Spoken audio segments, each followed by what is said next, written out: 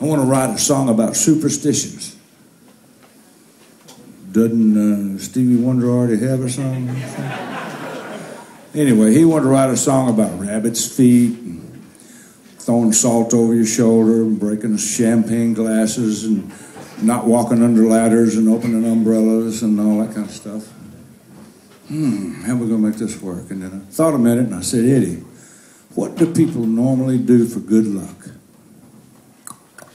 They knock on wood. So I'm going to play the intro to Knock on Wood, which is the second song we played tonight backwards for all of you music buffs out there. Anybody that you know that owns a guitar has dots on it.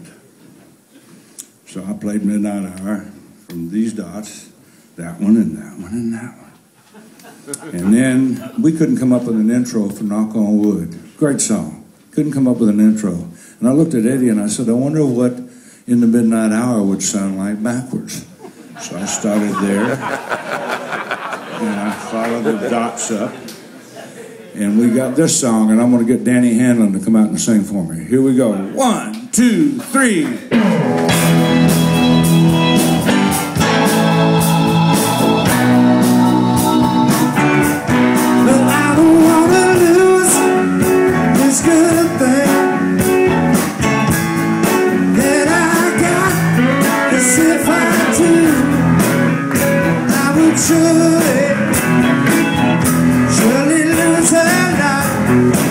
Cause you love